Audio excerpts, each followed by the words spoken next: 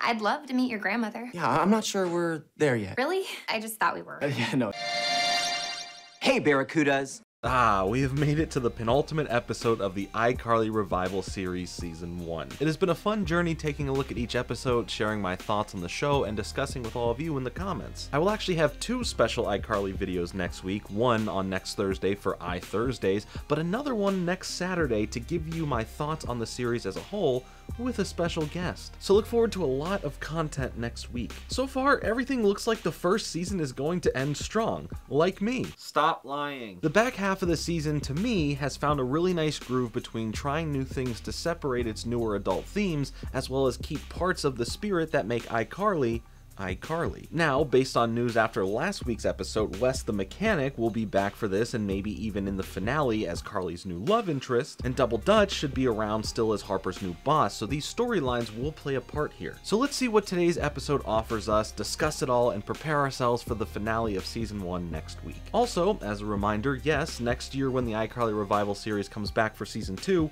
we will continue iThursdays and cover all of it then. So if you're enjoying these videos and would like to see more coverage like this, be sure to leave a like as it truly helps the video out, and I'll double dutch like I'm Corbin Bleu and jump in. I want to give a huge thank you to Surfshark VPN for sponsoring today's video. You can get Surfshark VPN at surfshark.deal slash jordanfringe and enter promo code jordanfringe for 83% off and an extra three months for free. Surfshark VPN is, well, a VPN, a virtual private network. It'll help you secure your digital life at an already great price, especially by using my code at the link down below. You'll get an incredible deal. Surfshark offers one of the best full coverage VPN packages out there, with use of an unlimited number of devices that can all run under one subscription at the same time. Literally as many devices as you want. With apps available on all platforms, PC, Mac, the Linux users out there, even smart TVs, video game consoles, web browsers, you name it, Surfshark has you completely covered. All along with 24-7 live customer support and a full 30-day money-back guarantee to make sure you know it's risk-free by giving them a shot. As well as their strictly no logs policy which encrypts your data, meaning that they do not keep any of it, nor does anyone know what you're doing online. A nice security measure in the digital age. Want to watch something that isn't streaming in your country, like perhaps iCarly like we're discussing in today's video? No problem. Just connect to any of the servers Surfshark has around the world and you'll be able to access libraries of content otherwise not available in your country. It's fast and easy to use, filled with features that go beyond just the basics with a regular VPN. If you want to protect yourself online while browsing as well as help support the channel, again, you can get Surfshark VPN at surfshark.deal slash jordanfringe and enter promo code jordanfringe for 83% off and an extra three months for free. Thanks again to Surfshark for sponsoring today's video. Episode 12, I throw a flawless dinner party.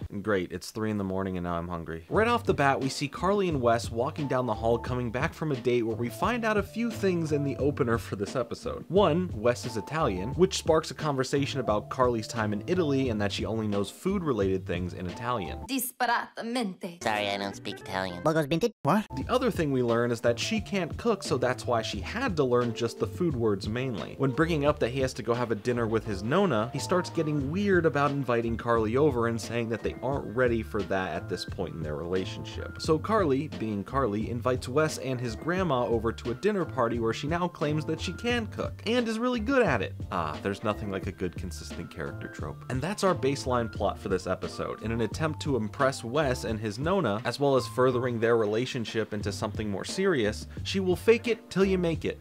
Literally, in this case with the food. What could go wrong? Everything. Yes, thank you. I think my mysteriously eluding question foreshadowed that. After Spencer is okay with the dinner party happening at his apartment, we see that Spencer and Maeve are passive aggressively arguing during their new adjustment period of rushing into a relationship and cohabitating. Carly dubs their attitudes as smeen, where everything you say is mean, but it's with a smile. You're a loser. You're a loser as well but with a smile. Harper now is working on design after design with outfits for Double Dutch for an upcoming music video, with D&D not being into any of the designs she has been presented so far. Also, Carly has these new frontal head braids. I have no comment. I think they're pretty cool. Oh my god, is this character development? Freddie rushes in excited regarding the dinner party, but more importantly to elevator pitch an app he's working on for Carly to test out for the dinner. Bone Appetimer, an instructional cooking app that him as well as Millicent pitch, which is nice to see their relationship have a lot more in common when it comes to the business endeavors they get into, and that she is supporting her dad, as well as she is getting equity in the company. Listen, she knows how to play the field here. Carly quickly jumps into accepting using the app as if she was an eager shark ready to invest. Hey, Barracudas. Whipping up a big meal is hard. This is exactly what I need. Freddie is excited for the dinner party, but again, not for the reasons of being happy and supportive for Carly and her potential relationship, but rather the performance and hopeful success of his app functionality. Weston is his Nona show up to the party, she gives out some compliments as Wes disappears for a moment to change from his work clothes, and once alone, Nona tells Carly point blank that she doesn't like her. In fact, she's just mean in general, even to Millicent. Carly begins to freak out while cooking, stressing over the fact that she already isn't liked and that the cooking isn't going over the best so far. So that's great, might as well call Grandma Harvey Dent because she's so two-faced. Boo. Maeve and Spencer are still at it. Ooh, that's a nice looking charcuterie board. Hey, Focus.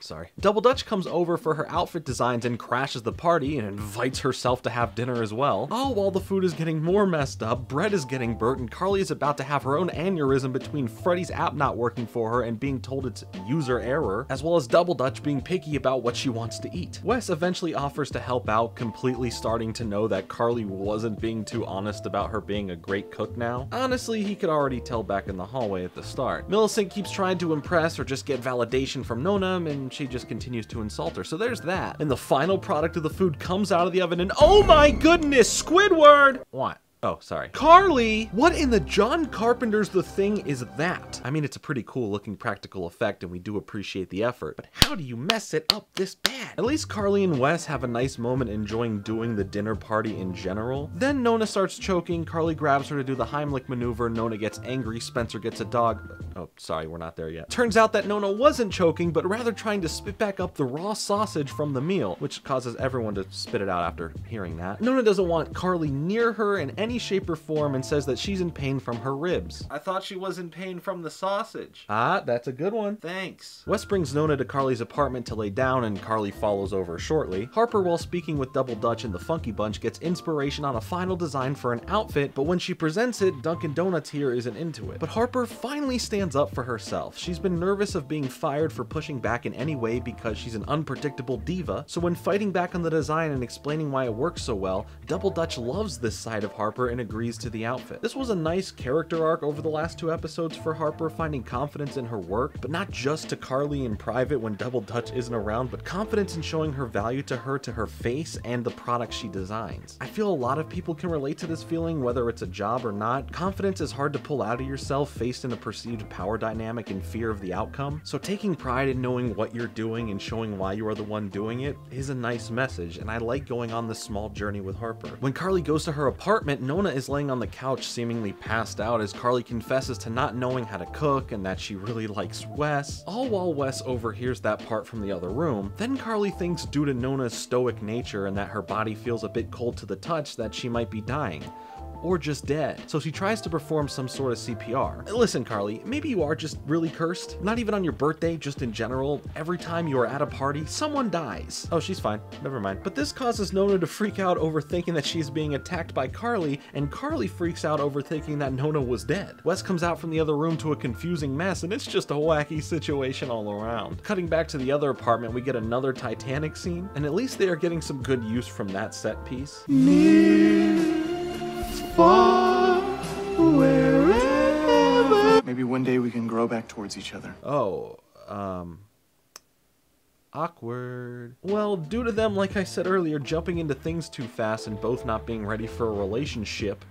Get it? Relationship. They're on the Titanic. A ship. Stop it, it's not funny. You always ruin all the fun. Yeah, so this ends Menser, or was it Spave? Either way, they end things amicably with each other. Now with Wes and Carly alone, she explains herself and guesses that he doesn't want to continue things with her, but he explains what he meant by her not being ready. Was Nona not being ready to meet Carly, as he was embarrassed by her and how she acts around others, being completely aware of how she treats people and only asking her to be on her best behavior, hence why she was nice at first to everyone when he was around. And they officially become boyfriend and girlfriend, share some smoochies, and Spencer gets a dog. Oh wait, we're actually pretty close to that now. The final scene, we see everyone at the apartment enjoying some spaghetti tacos, been waiting for them to make a cameo already, geez. But Spencer hogs Double Dutch's dog in the time of need after the breakup, and she allows him to hang out with the dog whenever she's over doing work with Harper. Freddie, while disappointed in his app failure, sparks up a new idea for an app that connects animals to people in need of support, like an Airbnb Airbnb for pets, as he puts it. And Spencer gets a dog. Yes, we already got to that. Why do you always ruin the fun? I would say this was another fun episode with the gang. A lot of those old iCarly vibes are woven throughout the story, the jokes in this episode hit pretty well, and it became a fun hangout, almost bottle episode esque situation. I do love how connected the episode feels with handling all of these characters, this episode being a bit better at having so many characters to juggle at once in comparison to last week's, as well as setting up for some future plot points that will come to a head. I believe Wes is back in next week's episode, so we will see how their relationship continues in the finale, hopefully seeing an interesting setup for season 2 with them, as well as how the split between Spencer and Maeve will affect her being on the show, or will they eventually come back together? Who knows? But one thing I do know is that I want a W for Freddie. He takes another L here, and I just feel bad that his character is stuck in this repeating rut of not getting anywhere by the end of an episode. I hope that the finale can give us a good season ending payoff for him